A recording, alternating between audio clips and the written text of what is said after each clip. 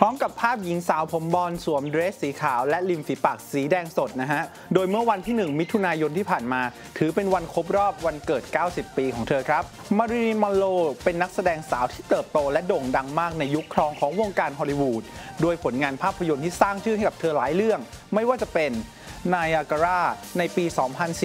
2496 ที่ทำให้คนรู้จักเธอในภาพสาวอเมริกันสุดเซ็กซี่ และในปีเดียวกันครับ เธอก็ได้มีโอกาสเล่นภาพยนตร์เรื่อง Gentleman Prefer Bonds ที่ทำให้มอนโรได้แสดงความสามารถในด้านการร้องเพลง Diamond Are a Girl Best Friend ซึ่งเพลงนี้ก็โด่งดังมากนะครับ จนมาดอนน่านำโชว์ของมอนโรไปเสียดสีในเพลง Material Girl เลยทีเดียวครับ แต่ทว่าภาพของมารีนมอนโรในความทรงจำของหลาย ๆ คน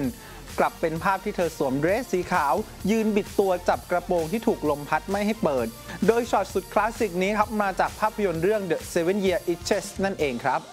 แต่กว่าจะถึงจุดที่คนทั้งโลกรู้จักเธอครับ มอนโรต้องผ่านความยากลำบากมาก่อน โดยเธอเติบโตในสถานรับเลี้ยงเด็กกำพร้าในเมืองลอสแองเจลิส และเริ่มทำงานโรงงาน ก่อนที่จะมีโอกาสได้เข้าสู่วงการบันเทิงครับ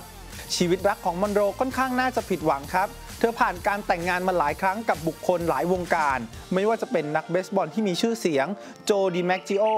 และนักเขียนชื่อดังอาร์เธอร์มิลเลอร์แถมยังมีข่าวว่าเธอมีความสัมพันธ์กับนักการเมืองชื่อดังโรเบิร์ตและจอห์นเอฟเคนเนดีอีกด้วยครับในปี 2505 ครับ มาริลีน มอนโรได้เสียชีวิตลงอย่างปริศนาในวัยเพียง 36 ปี ซึ่งหากเธอยังมีชีวิตอยู่ วันที่ 1 มิถุนายนที่ผ่านมา ก็จะเป็นวันที่เธอมีอายุครบ 90 ปีพอดีครับ